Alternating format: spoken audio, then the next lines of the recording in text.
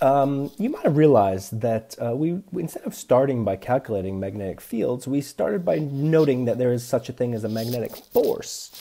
Um, and that's just because we uh, noted as scientists um, early on that there was a force that couldn't be accounted for by electric charges or gravitation or the normal things. And so we noted there was a magnetic force. And so now, if there's a magnetic force, we got to be able to calculate magnetic fields. So check magnetic force.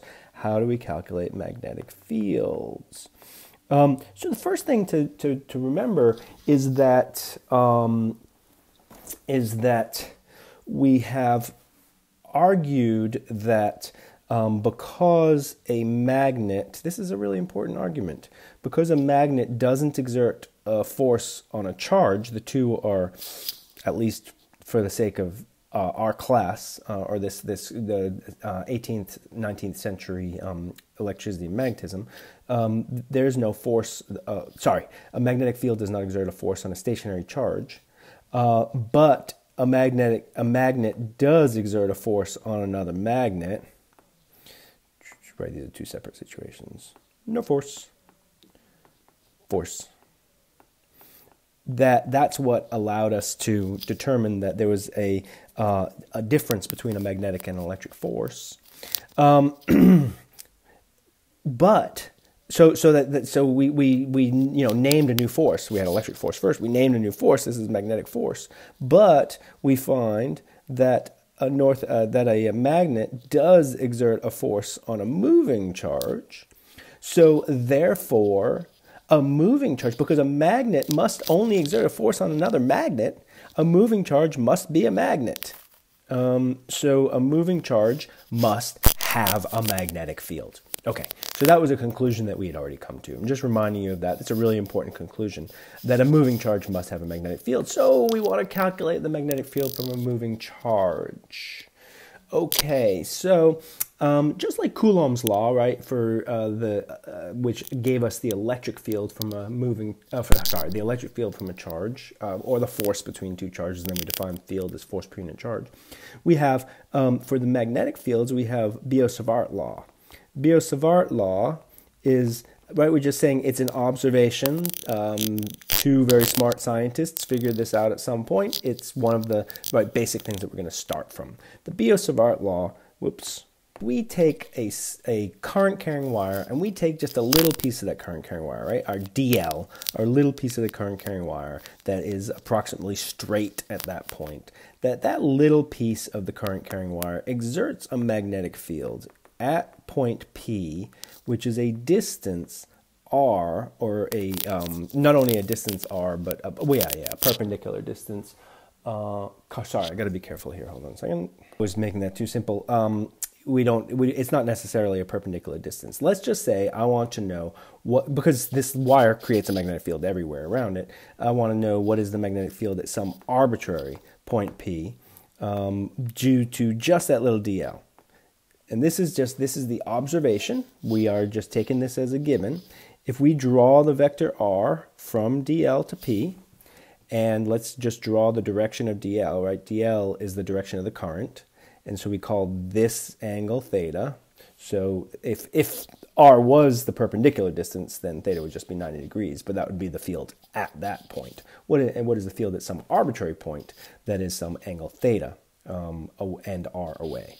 So we're going to call that r, the radius, uh, and that the Biot-Savart law tells us whoops, not ds, magnetic field due to that little piece, so just dB, the piece, the part of the magnetic field due to just the little piece, is equal to uh, constant mu 0 over 4 pi. We'll talk about those constants in a second. I, the current, did I say ds? dl, I dl, over r squared sine theta. This, you know, sometimes we talk about specific, sometimes we talk about general. This is the most general that we can get. This is a single um, infinitesimal element of current, um, and it's the field at a point, an arbitrary point P, due to that infinitesimal piece of current. So we can use this to calculate the field of any collection of current elements, which would just be a current wire, for example, the entire wire, right? We would have to integrate this.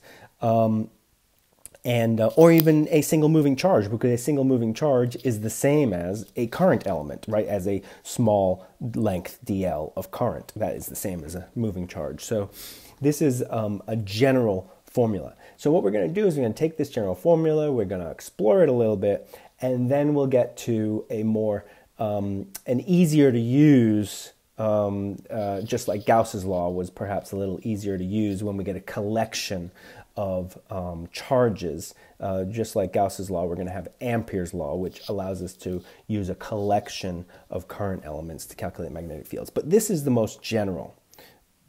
Just talk about the constants, mu zero over 4 pi. Remember, with electric fields, we had something similar, 1 over 4 pi epsilon naught.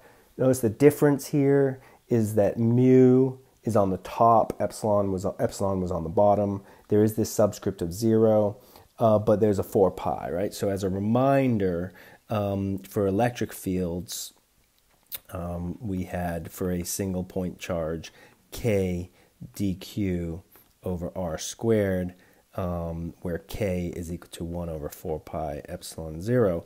So as a reminder, you know, this is a very similar formula for magnetic field and electric field, but let's look at the difference.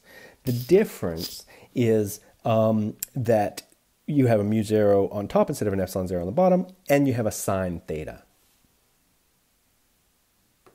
The other difference is we need to talk about the direction because notice that for DE, I just wrote the magnitude. For DB, I wrote the magnitude. For DE, remember the direction was radially away from positive charges. Uh, in this case, for DB, the direction is into the page. Um, and what I'm uh, into the page according to the right or right hand rule.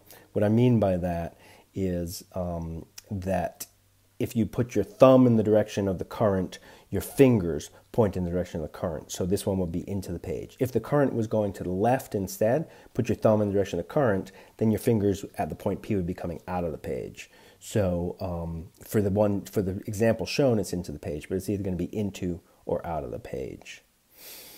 Okay, so the directions are different, the constants are different.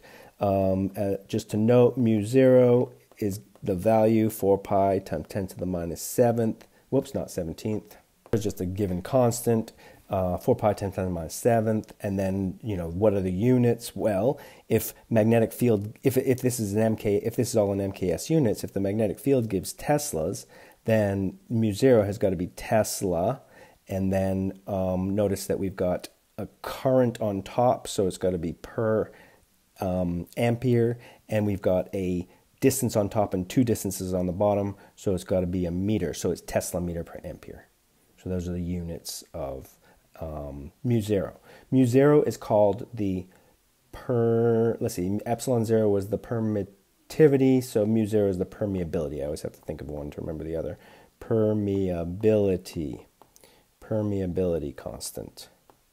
And the zero does mean permeability of free space, just like epsilon zero was permittivity of free space. And remember what epsilon zero meant? Epsilon, eps, or epsilon meant how does, um, you know, what, what does the material, how does the material that the electric field is in um, impact the electric field? So in free space, it's epsilon zero. In a material, it was just epsilon for that material. Same thing with mu zero. Mu zero is how does the material that the magnetic field is in impact the magnetic field. So in free space, in a vacuum, we're going to use mu zero. If we were in something, if this um, current was going through water, then we would use mu for water, the permeability of water, and the magnetic field would be modified um, by the, the water or the material that it's in.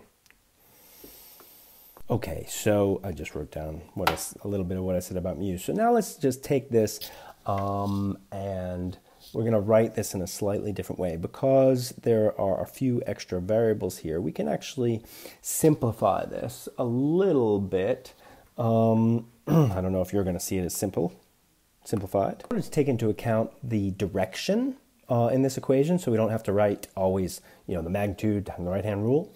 um, we really want to write an equation that takes into account the direction, and we can do that by um, thinking about the r hat direction, right? So r squared is the radius, um, but the r hat direction. Going uh, and if D, dl cross r hat, right?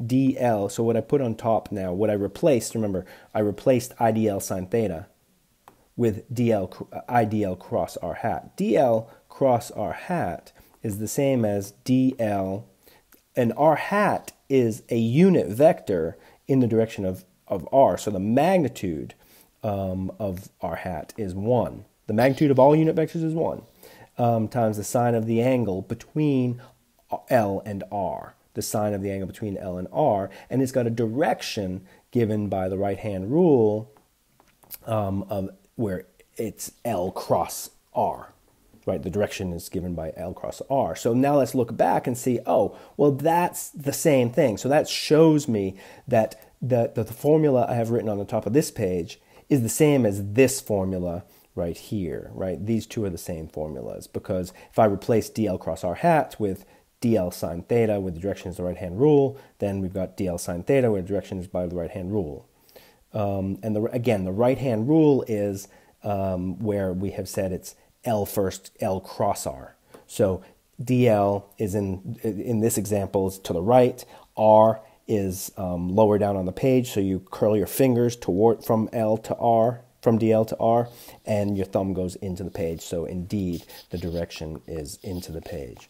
So this is the way to succinctly write that. You can always replace that with, um, you know, I dl sine theta, where it's given by the right hand rule from where it's the, the direction of L cross R vectors, whatever. Um, so, but this is the way to write it. And I will also point out that you will often see this written, because R hat is just the R direction. Uh, you will often see this written as, see this written uh, in, so, in a way that um, maybe seems uh, a little counterintuitive, but uh, it is very intuitive to some people. Um, that instead of R hat on top, we put the vector R. And remembering that the vector R is the uh, magnitude R times the R hat direction um, that means that we have uh, put an r on top, so we got to put another r on the bottom, and so we get r cubed on the bottom. So if it's dl cross vector r on top instead of the r hat direction, then we would have an r cubed on the bottom. Those two are the exact same formulas mathematically, exact same. Obviously, this is all just um, gobbledygook until we figure out how to apply it to a situation. It's not so bad. Uh, what we're going to do is we're going to take a current carrying wire, whether it's uh, that was supposed to just be a current carrying wire, whether it's a straight wire, or whether it's a, a, a wonky wire. Um, and we're going to say, well, the magnetic field due to that current carrying wire um, at a point P, some distance away from the wire, um, is going to be equal to mu naught over 4 pi times the integral of I dl cross r hat over r squared and we're going to add that up, right? We're going to take all the little DLs along the wire and we're going to add it up along the whole wire to figure out what all of their contributions are to the magnetic fields at point P. Um, not trivial, but we'll do some examples next time. Uh, and then, and then once we figure out some, we see how to apply this, uh, we will actually use the results of um, the magnetic field of a straight wire in order to um, just look at magnetic fields of wires. Uh, okay, I, I don't know how clear that was, but what we're going to do is calculate the magnetic field due to a, uh, any given current carrying wire, um, and then we'll just uh, go on from there.